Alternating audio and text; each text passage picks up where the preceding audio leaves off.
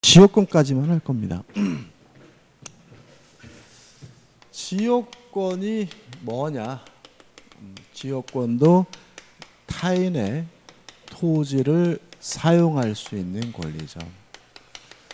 어, 지상권과 다른 점은 뭐냐면 내 토지의 편익을 위하여 남의 땅을 쓸 수 있는 권리가 지역권이고요. 요 타인의 토지를 우리가 아, 승역지라고 하고요. 자신의 토지를 우리가 뭐죠? 요역지라고 합니다. 보통 이제 그림을 그리게 되면 이렇게 그리게 되는 거죠. 도로가 이렇게 있고요. 음, 땅이 어, 갑의 땅이 있고 을의 땅이 있는데 어, 을이 도로로 나가기 위해서 갑과 만나서 설정 계약과 등기함으로써 갑의 땅을 통행할 수 있으면 이러한 권리를 우리가 뭐라 그러냐면 통행지역권이라고 하고요. 편익을 받는 을의 땅 우리가 요역지라고 하고요. 편익을 주는 갑의 땅 우리가 승역지라고 하는 거죠. 여기서 뭘 할 수 있냐면 요역지는 한 필지 토지여야 된다는 점이죠. 이에 반해서 승역지는 한 필지 토지일 필요는 없고 뭐래도요 일부래도 상관이 없다라는 걸 알 수가 있습니다. 그 다음에 여기서 생각해 보요. 그래서 만약에 땅이 하나 더 있어요. 여기 만약에 병의 땅이라면 병은 을의 땅에다가 지역권 설정하고 갑의 땅에다가 지역권 설정하면 도로는 나갈 수 있겠죠. 그러면 갑의 땅과 병의 땅은 인접하고 있지 않은데도 불구하고 뭘 설정할 수 있는 거죠? 지역권을 설정할 수 있는 거죠. 다시 말하면 승역자 요역지는 인접하고 있을 필요는 없다. 인접하지 않아도 지역권은 뭐죠? 설정할 수 있다는 것을 알 수가 있는 거죠. 그 다음 이제 성질들인데 첫 번째는 지역권은 토지의 편익을 위하여 남의 땅을 쓸 수 있는 권리거든요.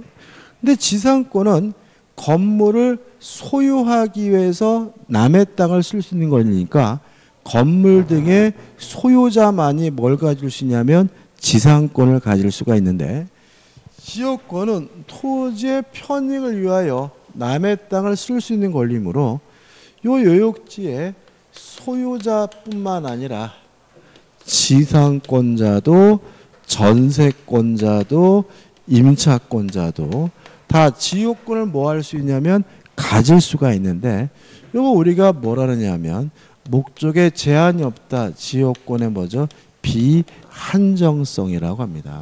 최근에 여기서 답을 많이 만들어내요. 그래서 이런 식으로 나오죠. 토지의 지상권자는 지역권을 취득할 수 없다. 그건 뭐죠? X다. 왜냐하면 그 토지로부터 편익을 받는 사람이라면 소유자 외에도 지상권, 전세권, 임차권자도 지역권을 가질 수 있고요. 이러한 성질을 우리가 뭐죠? 비한정성이라고 합니다.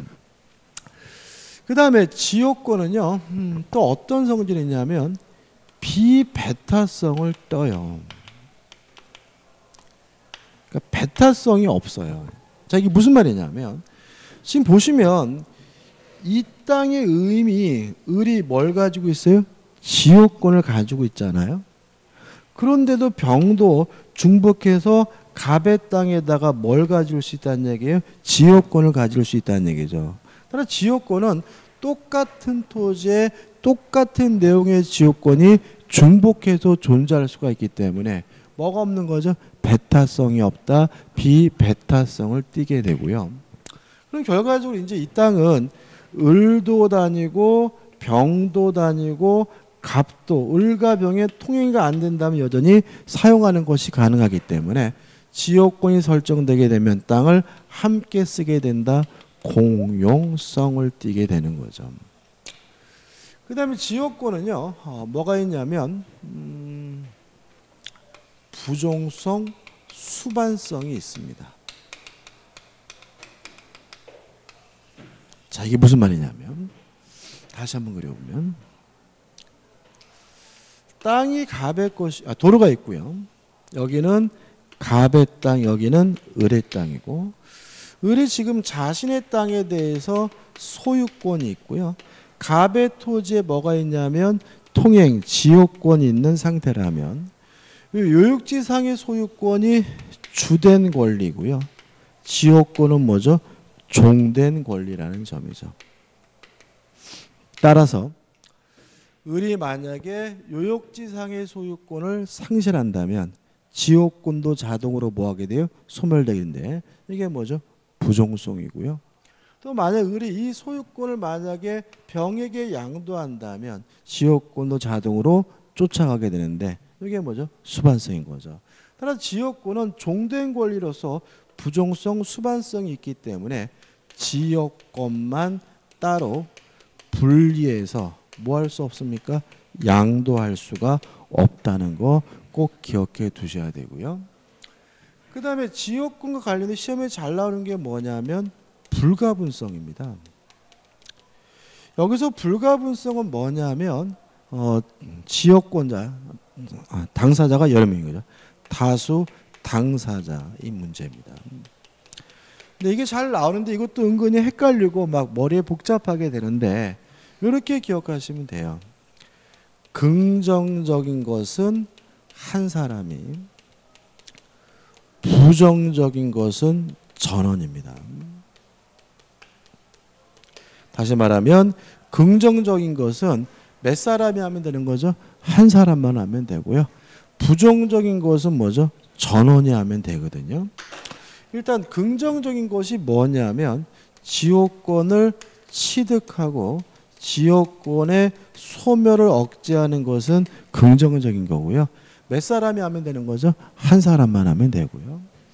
또 지역권이 소멸이 되고 지역권의 취득이 억제되는 것은 부정적인 것이니까 어떻게 해야 됩니까? 전원이 해야 됨을 주의하시기 바랍니다. 그 다음에 아, 지역권도 취득 시효하는 것이 가능합니다.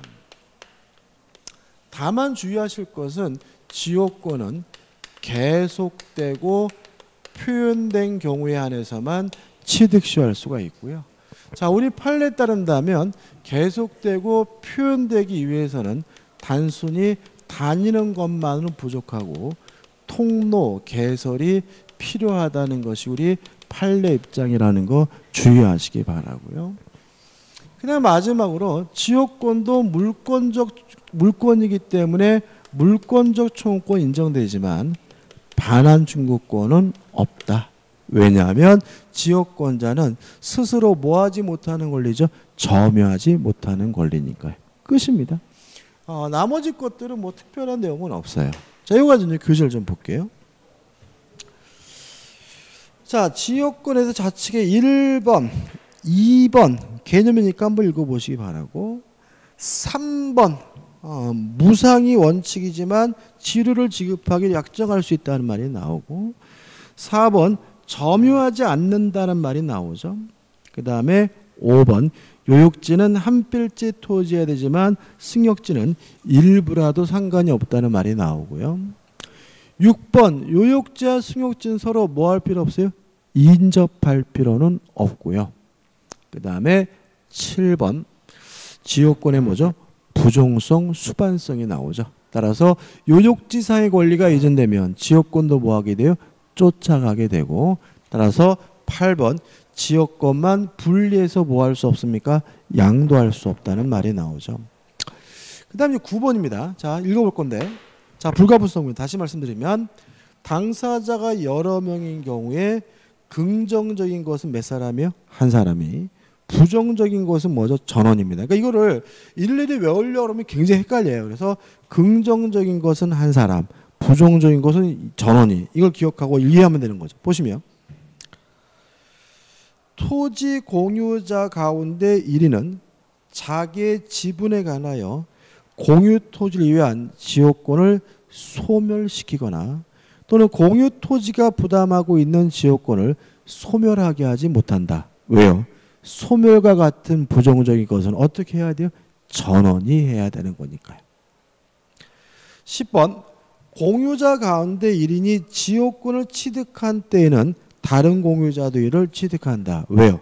취득과 같은 긍정적인 것은 몇 명이 하면 되죠? 한 사람만 하면 되니까요. 11번 요역지를 공유하고 있는 경우에 공유자 가운데 1위를 위한 지역권 소멸시효 중단이죠. 그러니까 소멸을 중단시키는 것은 소멸을 억제하는 것이니까 긍정적인 것이니까 몇 명이 하면 되는 거죠? 한 사람만 하면 되는 거잖아요. 따라서 1인을 위한 지역권 소멸시효 중단 사유는 다른 공유자에게도 시효 중단 효력이 있다 이렇게 되는 거죠. 그 다음에 12번 요육지를 공유하고 있는 경우에 취득시효 중단입니다. 취득시효 중단은 취득을 억제하는 거죠. 부정적인 거죠. 따라서 어떻게 해야 돼요? 전원이 해야 되니까 공유자 전원에 대한 중단 사유가 있어야 한다. 이렇게 되는 거죠. 그래서 어, 실제로 9번부터 12번까지는 긍정적인 것은 한 사람, 부정적인 것은 뭐죠? 전원이고 13번은 가입해 보실 필요가 없어요. 그다음에 14번도 가입표죠. 왜냐 이거는 등기법에 나올 얘기지 민법에서 나올 내용은 아니고요. 그다음에 15번에서 양가리 1번은 의미가 없고요. 용수조건 이런 거 의미 없고 다시 말하면 지역권을 취득시하려면 계속되고 뭐죠? 표현돼야 되는데 계속되고 표현되려면 양가리 2번에서 통로를 개설할 필요가 있다는 것이 우리 판례 입장이다. 16번 반환 충구권은 없다. 왜냐하면 지역권자는 스스로 뭐하지 못하는 권리예요? 점유하지 못하는 권리니까요. 그럼 여기까지 이제 어떻게 해요? 다 끝난 거죠. 그죠? 간단하죠. 제가 설명드린 게 더 자세한 것 같아요. 그 다음에 이제 17번인데, 자, 이런 문제입니다. 자, 딱 도로가 있고요. 음, 갑이 있고, 을이 있고, 을이 갑의 땅에 대해서 통행 지역권이 있는 상태라면 갑은 을에게 아무것도 해줄 거는 없습니다.